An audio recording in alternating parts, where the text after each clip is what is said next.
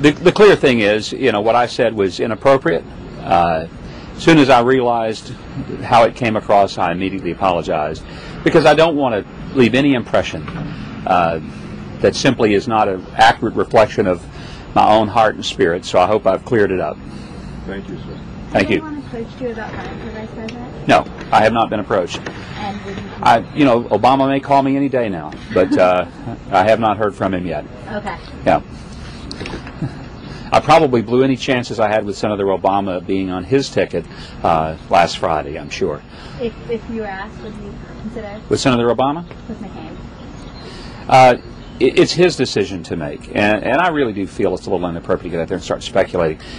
What I have said is what I will continue to say. First of all, I want him to pick whoever will help him win because I really do want him to win. And the second thing is uh, that I would have no difficulty running with him in the sense that I wouldn't have to take back anything I ever said on the campaign trail, publicly or privately. Uh, I truly admire the man, and I think he is uh, an outstanding American and a great person. And uh, so it's easy to support him, but it doesn't have to be in terms of being on a ticket with him. I'm supporting him anyway.